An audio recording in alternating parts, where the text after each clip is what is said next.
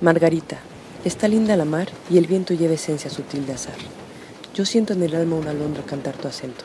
Margarita, te voy a contar un cuento.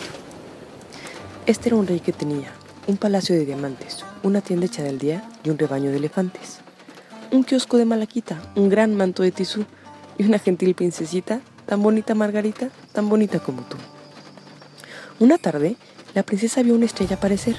La princesa era traviesa y la quiso ir a coger. La quería para hacerla decorar un prendedor, con un verso y una perla, una pluma y una flor. Las princesas primorosas se parecen mucho a ti. Cortan lirios, cortan rosas, cortan astros. Son así. Pues se fue la niña bella, bajo el cielo y sobre el mar, a cortar la blanca estrella que la hacía suspirar. Y siguió camino arriba, por la luna y más allá. Más lo malo es que ella iba sin permiso del papá.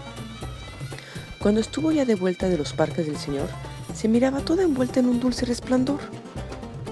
Y el rey dijo, ¿qué te has hecho? Te he buscado y no te hallé. ¿Y qué tienes en el pecho que encendido se te ve? La princesa no mentía, y así dijo la verdad. Fui a cortar la estrella mía a la azul inmensidad. Y el rey clama, ¿no te he dicho que el azul no hay que tocar? ¡Qué locura! ¡Qué capricho! El señor sabe enojar. Y ella dice, no hubo intento. Yo me fui no sé por qué. Por las olas y en el viento, fui a la estrella y la corté. Y el papá dice enojado, un castigo has de tener. Vuelve al cielo y lo robado vas ahora a devolver. La princesa se entristece por su dulce flor de luz, cuando entonces aparece sonriendo el buen Jesús.